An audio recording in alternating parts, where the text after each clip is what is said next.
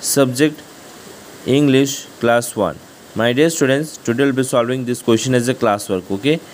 हम लोग ये क्वेश्चन को पढ़ेंगे, इसे हम लोग समझ के सही आंसर लिख के इसे सॉल्व करेंगे।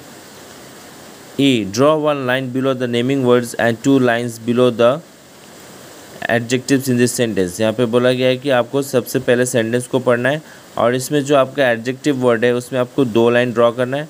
और जो इसमें नेमिंग वर्ड है, उसमें आपको एक लाइन ड्रॉ करके आपको बताना है, ठीक है? Number one I like ripe bananas तो यहाँ पे राइप क्या आपका एडजेक्टिव है तो उसको आपको डबल लाइन करके दिखाना है और नेमिंग वर्ड क्या है बनाना उसे आपको सिंगल लाइन करके दिखाना है, ठीक है? Number two this is a small spider यहाँ पे आपका एडजेक्टिव क्या है स्मॉल और नेमिंग वर्ड क्या है spider okay number three the girl sits on the wooden swing wooden आपका क्या है एडजेक्टिव है, और स्विंग आपका क्या है नेमिंग वर्ड है।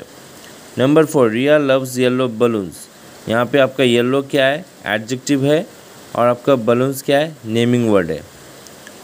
Number five Sheela drinks cold milk यहाँ पे कोल्ड आपका क्या एडजेक्टिव है और मिल्क आपका क्या है? नेमिंग वर्ड है।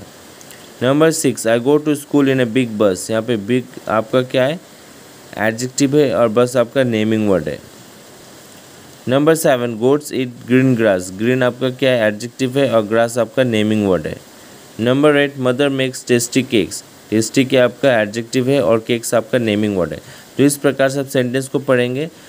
आपका सेंटेंस में अगर एडजेक्टिव है तो उसे आपको डबल लाइन करके आपको दिखाना है।